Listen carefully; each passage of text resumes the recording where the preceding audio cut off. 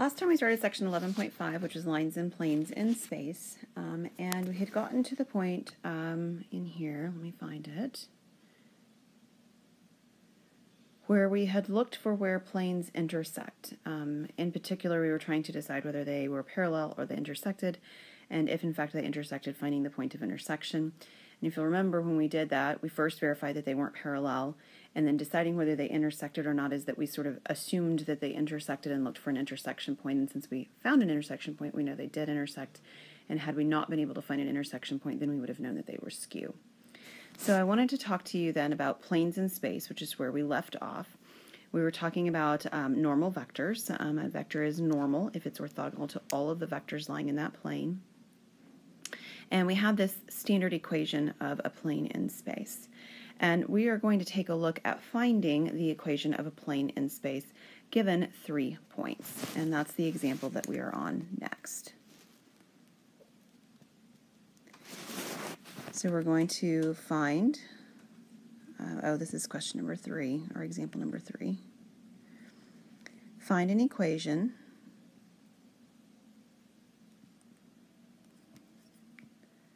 of a plane containing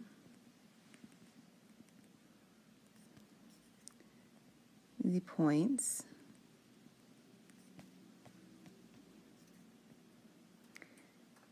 one, negative two, one, two, negative one, zero, and three, negative two, two. Um, and just so that we have a, a reference point, a, a, a, name for these points, I'm going to call them P, Q, and R. You can do that if you'd like. If it doesn't, you know, matter to you, that's fine too. Um, so what we need to do is we need to actually find um, the vectors that correspond to um, a couple of these points and see if we can find the orthogonal vector to that. So we'll take vector PQ so again, that means uh, point Q minus point P. So I have 2 minus 1 is 1. I have negative 1 minus negative 2, which would be also 1. And then I have 0 minus 1, which would be negative 1. And uh, PR, I'll use that as my other vector. You, you can choose your vectors. Um, these are not looking like vectors, they're looking like arrays. Um, okay, that's better. Um, so vector QR would be, again, 3 minus 2, which is 1, negative 2 minus 1, which is, um, hang on. Oh, I said P, PR, not, I was looking at R and Q, my bad. Let me go back here. PR is what I have um, done before, so we'll continue with that. So 3 minus 1 would be 2. Um, I have negative 2 minus 2, which would, minus negative 2, which would be 0. And then 2 minus 1, which is 1. Okay, so these are my vectors PQ and PR. If you had done PQ and QR, it would be fine as well. These are just the ones that I chose. Um, and we were going to find the orthogonal vector to those two plane, or those two, uh, the, to those two vectors. Let me say it right. so we have PQ um, cross product with QR. And um, we've done enough of these at this point, so I'm just going to jump to, um, you know, the two-dimensional form. I have I, and I have my points uh, 1, negative 1, 0, 1, minus j, and my coordinates for j would be 1, 2, or 1, negative 1 across the top, and 2, 1 at the bottom.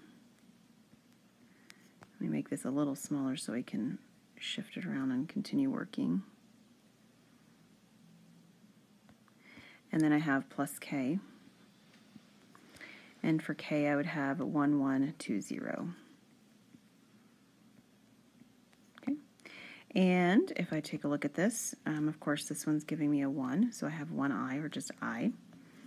Um, I actually get components from both of the um, diagonals on the j component. Here is 1, and this would be minus negative 2, which becomes um, a 3, and then the negative in front of the j makes it negative 3j.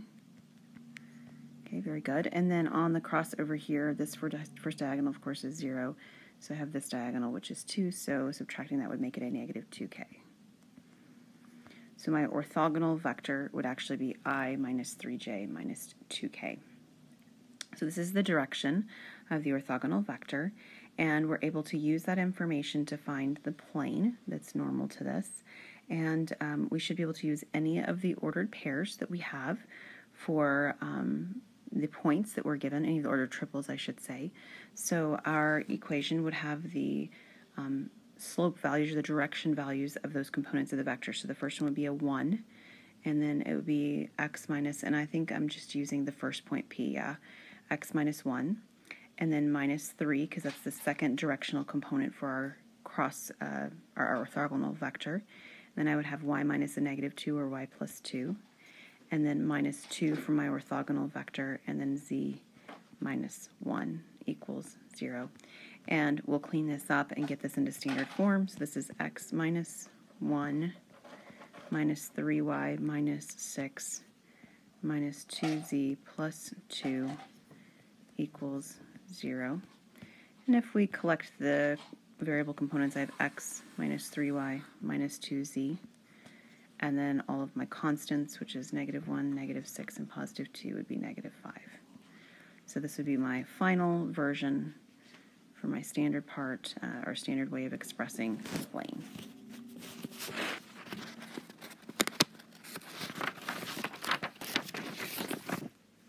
All right, uh, kind of a visual question next. Um, we're going to take a look at thinking about um, the intercepts of a plane. Um, so this is example number four, and we're going to find all intercepts and we're going to attempt anyway to sketch the given plane.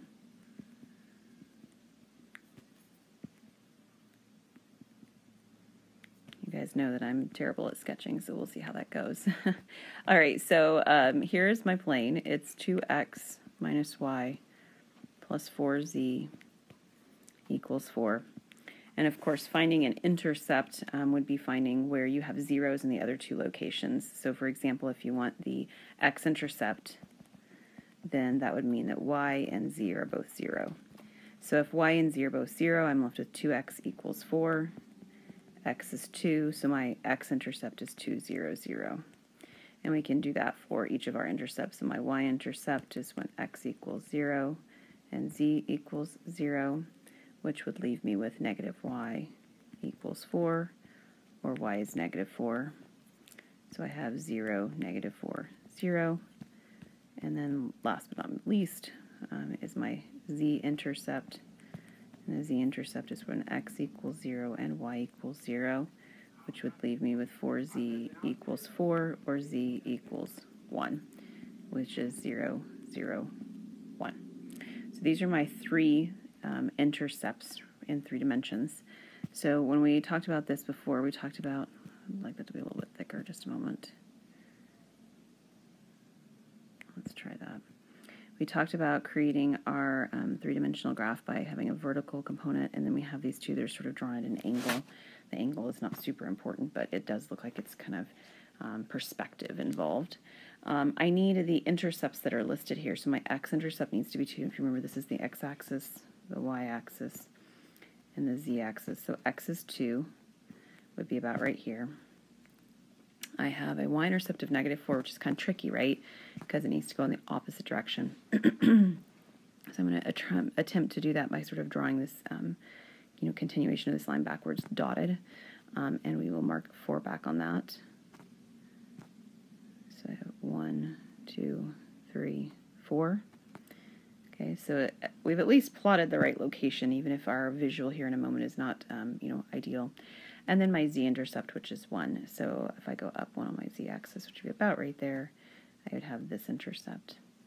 And so I've plotted the intercepts, and then what we're going to try to do is we're going to try to kind of connect these. And I'll try with a different color and see if I can get a, a better, um, I don't know, a better picture of what's going on. Let's try with red since I used red dots. So my plane is actually the connection of these three points, and if you imagine extending those three points out beyond what's sh certainly showing up as a triangle, you would have the plane. So this is kind of the best that I can do at drawing it. Um, just do your best. Just make sure points are plotted in the right location, and we'll be good to go with that. Okay, one last example. We're going to talk about um, finding the angle between lines. So our last example for this lesson, we're going to state if the lines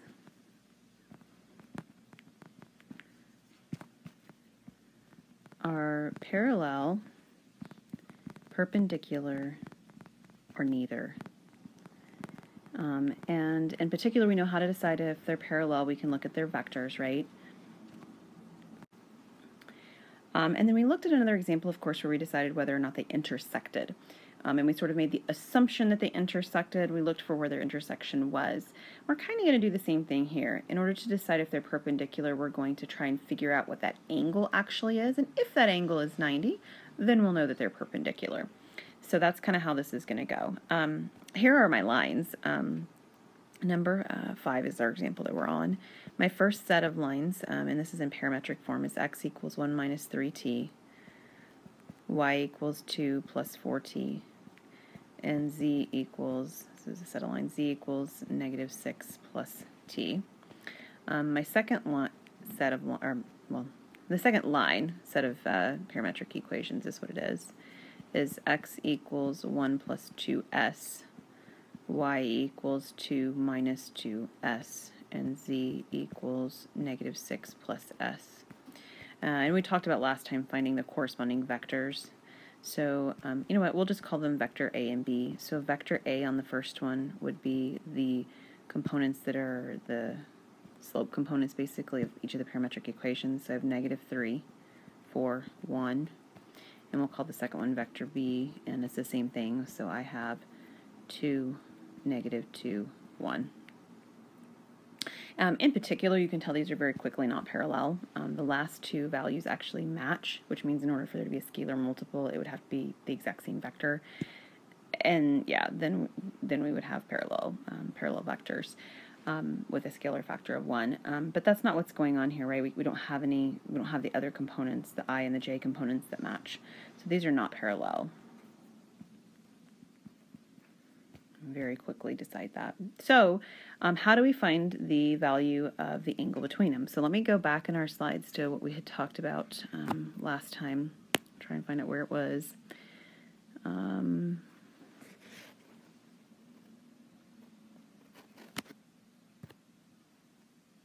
I thought that I presented that. I think it was in the previous lesson. It's where it was. Sorry, I don't have a slide on this lesson. It's on the, on the previous lesson. Let me just write it in here. Um, what we're actually referencing, this equation that I'm talking about, is that the cosine of theta equals our two vectors. So I called them A and B. So A dot B, um, it is a dot product on top, and then it was the um, vector 1, sorry, different notation for my notes, my bad. Um, so this is the um, magnitude of A times the magnitude of B. That's actually from the previous lesson that we had done before. Okay, so that's what we're needing to find. In order to do that, we have to find the dot product, um, and then we also need to find um, each of the individual magnitudes. So um, the magnitudes, let's just do those first because um, we already have the individual um, vectors listed. So the magnitude of A would be the square root of 9, or 3 squared, plus 4 squared plus 1 squared. Um, if you add those together, you have 9 plus 16 plus 1, so this is the square root of 26. And then if we do the magnitude of b, we would have the square root of 2 squared plus 2 squared plus 1 squared. So that would be 4 plus 4 is 8 plus 1 is 9. So square root of 9 would actually be 3. So that's kind of cool and then our dot product of our vectors, um, it would actually be component-wise, right? So it would be 3 times 2, I'm sorry, that would be negative 3, left my sign off. Negative 3 times 2 um, plus 4 times negative 2 plus 1 times 1. Um, so the first piece is negative 6, and then I have negative 8 and positive 1. Um, this ends up giving me negative 13. All right, so I can use the um, equation that I mentioned up here before to find my angle between them. So the cosine of theta is equal to that dot product, which was negative 13, over the square root of 26 times 3 as such. Um, and then to find theta, we would do the inverse cosine. So inverse cosine, or arc cosine if you prefer, of negative 13 over 3 square root 26. Um, and if you put this in your calculator, because this is not, you know, a unit circle type value, you actually get 2.59 radians. Um, you know, in other words, theta is not equal to um, 90 degrees or pi over 2. So um, we actually have that they are not perp perpendicular. So um, we'll reference that as well. I already said before they were not parallel. Now I can say that they are not perpendicular. And the angle between them, theta, we just found. It's 2.59 radians. All right, in terms of homework, let me flip the slide since I'm kind of out of space on this one. Um, your homework for this section